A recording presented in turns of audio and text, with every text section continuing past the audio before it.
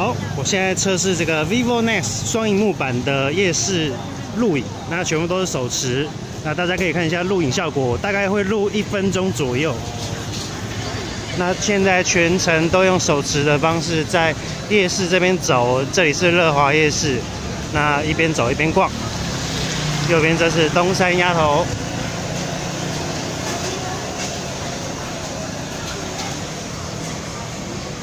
那今天是下雨天，其实人潮并没有很多。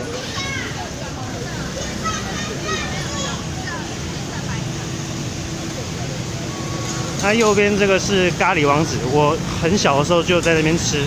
那现在价格也比较高。那大家来点的话，记得要点它的生炒咖喱饭，那个才是王道。